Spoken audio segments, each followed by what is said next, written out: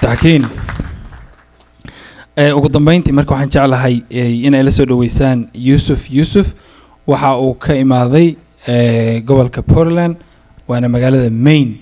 Magaalada ay ka imaatay deeqa waa isdaba mariya u waa gobolka maine magaaladana waa portland. Asalaamu calaykum. Marka maxamed baan islahaa wuxuu oran doonaa timeka ib laakiin waa maasha allah waad mahadsan tahay walaal su'aal mi ay weydiinaynaysa waxaan ka sheekeeyaa qaabkii aan marka koowaad waqtigaagii qayb ka mida waxaa kuu qaaday maxamed.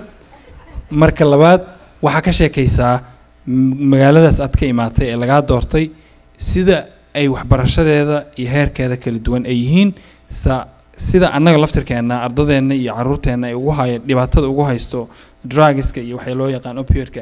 Idinka soomaali ahaan ma ka duwan tihiin maxaase bedeli doontaa hadda maadaama lagu doortay Ah, waad mahadsan tahay walaal. Horta waxaa muhiim ah inaan sheego een, waxay la mid tahay magaalo walba oo soomaali ku nooshahay. Dadkeena soomaalida ahna kulligood dhibaatada way haysataa. Dhibkuna ma aha keligood ilmaha. Waxa weeyaan waalidkiioo biisi ah oo la rabo inuu miiskii cunto saaro. Iyo ilmihiiyo hawo kale ku jira oo soomaalidu waxay tidhahdaa markaa meel tagto il baa la ridaa. Laakiin ilmaheenna inay il iska ridaan lama ogolo ilmihii waxaa loo waxay soo dhex galeen mujtamac qaab u nool wey iyagu loogu talagalay oo system sida gabadhu sheegtay system u nool baa lagu soo dhex riday. Marka waxyaalaha aadka ay struggle-ka ula yihiin waxaa weeyaan gurigii oo ay waalidkii aada isu fahansanayn iyo iskuulkii markay yimaadaan oo system aan madow ahaan caawinaynin inay dhexda u galeen. Marka magaaladayada aad bay horta u dadaalaan. Jaamacadaha aad baa uga muuqanaa acceptanka aad bay ardaydayada u galaan. Waxaa muhiima inaan sheego ardaydu badanka markay graduate gareeyaan waxaa ku adag shaqooyin inay helaan inay sii gudbaan. Waxaana waxay qayb ka tahay row maaralka iyo inayna haysan dad badan oy ku daydaan. Hadda tusaale ahaan magaaladayada waxaa la deganaa labayo labaatan sano. Anigaana ahaa qofkii ugu horreeyo la doorto soomaali ah marka anigana waxaa igu dhaliyey waxaan la shaqaynayay een, ardayda iyo macallimiintii. Waxaan arkay marka baahidii inay ka weyn tahay.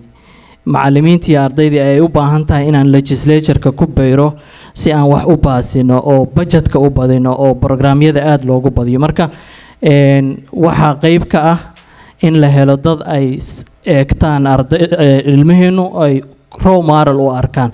Tusaale ahaan aan ilmaheennuna aad bay u jecel yihiin inay ku taageeraan oo niyad aada u wanaagsan bay leeyihiin tusaale ahaan ilhaan baan ka qayb galay mar ay bernie sanders new hampshire u, advocate garaynaysay hal sac iyo bar baan lugaynay.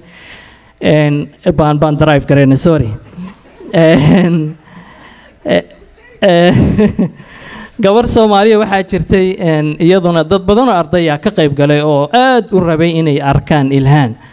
Marka meel aad u weyn field aad u weyn buu ahaa. Markii ilhaan salaantii bixisay waa la wada aamusay.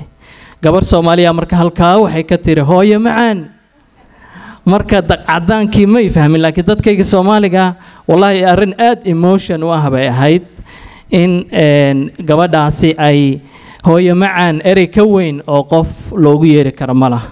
Marka in waxaan odhan lahaa kulligiin hooyo macaan bay ilmaha yaryari idiin arkaan aabba macaan walaal macaan.